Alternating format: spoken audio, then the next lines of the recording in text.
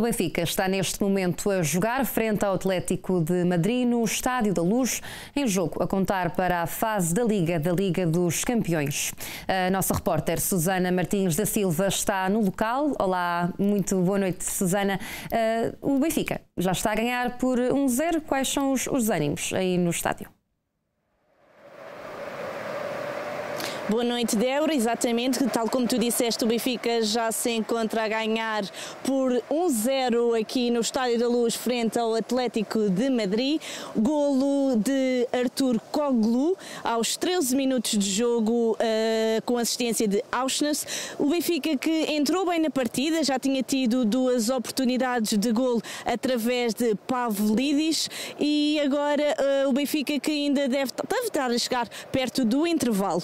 O Benfica que que vem de uma vitória também em Belgrado frente ao Estrela Vermelha, onde venceu por uh, 2-1. Um, e o Benfica procura agora aqui alcançar a segunda vitória seguida na fase da Liga dos Campeões, na recepção ao Atlético de Madrid, depois de uma estreia vitoriosa em Belgrado, frente ao Estrela Vermelha. Bruno Lage, ontem, em conferência de imprensa, já tinha dito que pretendia ver a melhor versão dos encarnados no regresso à Liga Milionária, ao Estádio da Luz. A única alteração no 11 dos encarnados é que, é que houve uma saída, uma troca na defesa, saída de António Silva e o regresso de Bá uh, na defesa do Benfica após lesão. O Atlético de de Madrid, que chega à capital portuguesa depois de um fim de semana uh, ter sido marcado com um golo nos descontos num clássico madrileno. Esse jogo que foi suspenso durante vários minutos devido a comportamentos incorretos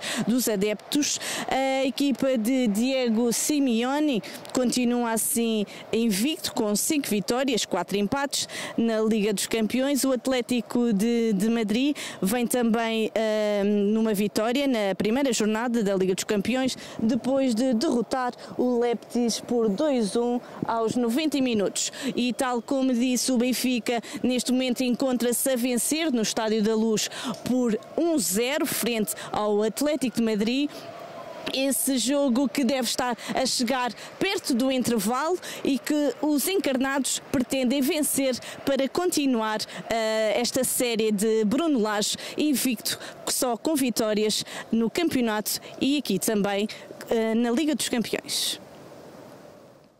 Obrigada, Susana, a acompanhar o jogo do Benfica que vence até agora por 1-0.